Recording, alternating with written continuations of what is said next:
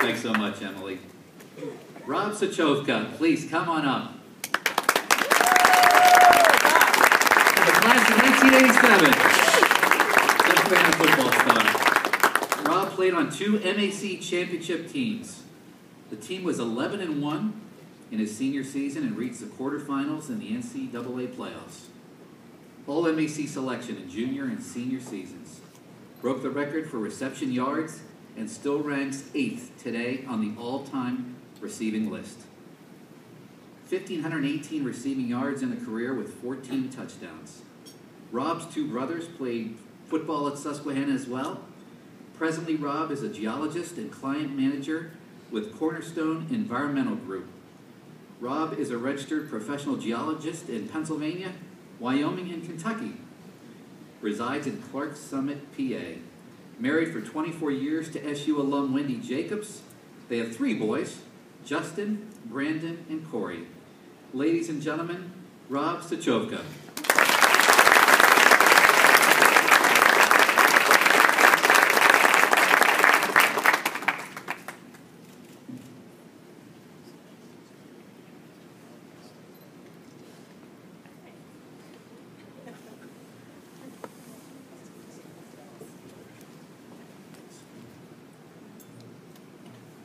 Know, it's an honor to be here tonight and be uh, part of such a diversified group of athletes here. So I just want to congratulate everyone here tonight who's uh, into the class of 2013. You know, when I first got the call from Pamela and Coach Briggs that I was selected for this year's 2013 Hall of Fame, you know, you're, you're shocked, you're in disbelief, you're giddy and happy all at the same time. And the minute you hang up the phone, you get all these fond memories that start rushing in about your time that you spent here at Susquehanna University, how, how great times they were, and, uh, uh, and you, you're very appreciative of that. Um, and about 10 minutes after you hang up the phone, you realize, at least for me, it's been 26 years since I last played my ball here at Susquehanna University. Most likely, I'm going to be the oldest guy in the photo op. But then you get the names on the list, and you go down the list, and there's one that you recognize, Coach Harnett. And I was like, yes. so,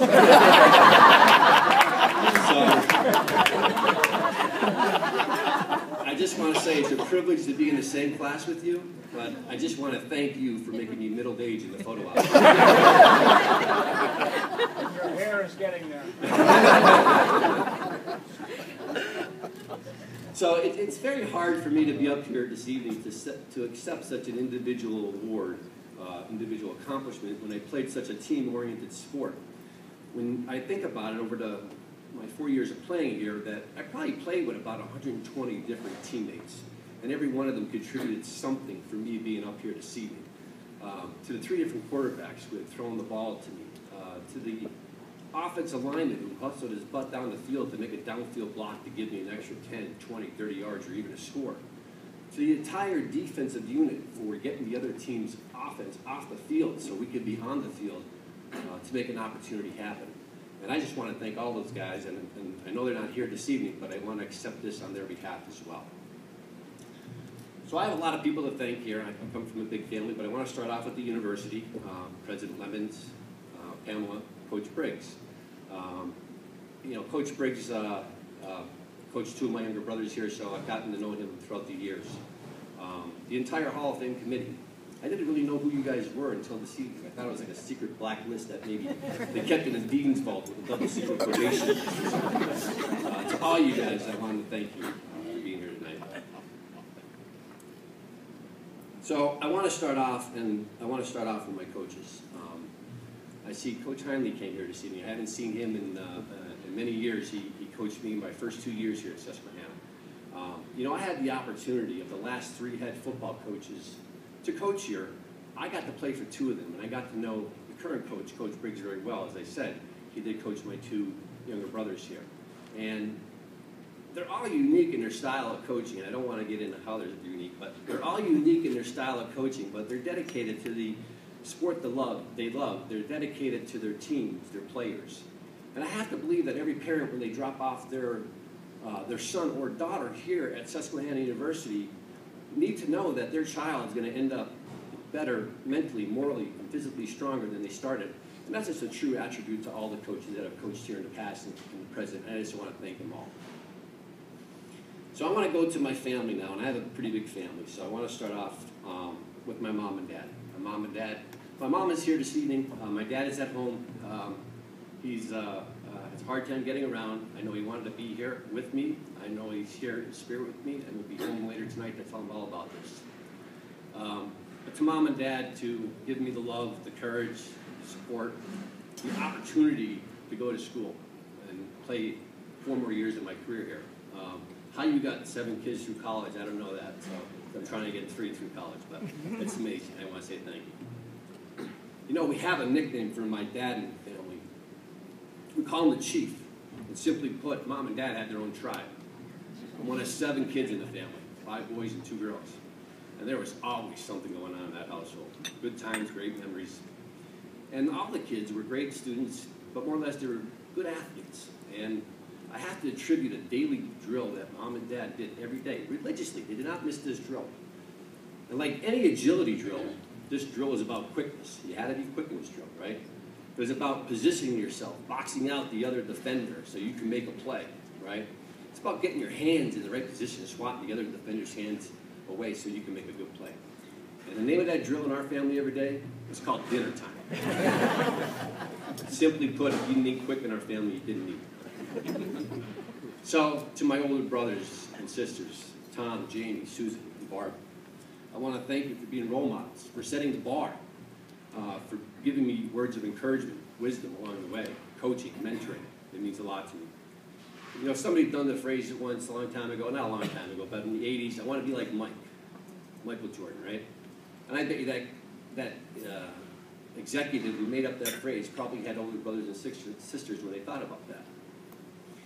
To my younger brothers, Paul, who's here tonight, and my younger brother, Billy, who's coaching a high school football game tonight, couldn't be here. Um, I want to thank you for knowing that your gaze upon me was the same gaze that I had upon my older brothers and sisters, and that I needed to lead by example, not to disappoint. And you were the driving force to make me a better player. I just want to say thank you.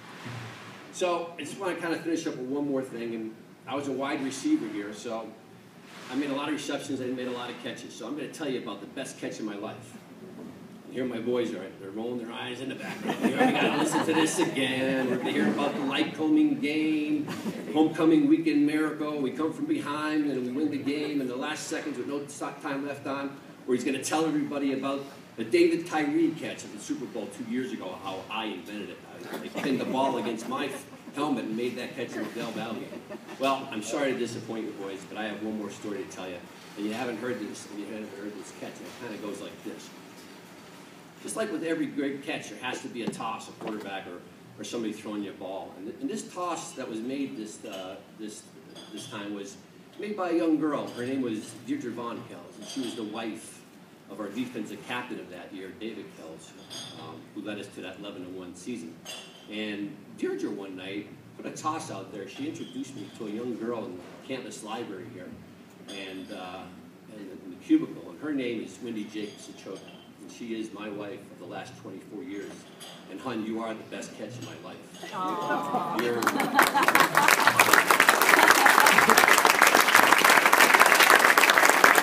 your love, your devotion, your commitment to our family is amazing. And I just want to say thank you and I you. To my three wisecracking boys who are rolling their eyes again. you need to know that you have always been and will always be the next big play of myself and your mom's life. So as you travel down your paths, your careers, your goals, you need to know that we'll be there for you every step of the way and ready to come off the bench in a moment's notice if need be. So I just want to thank you. I know I went over my three to four minutes, but I only get up here once. So again, thank you for everyone being here tonight. And uh, again, the 2013 Fox Hall of Fame. It's a privilege to be part of such a diversified group. Thank you.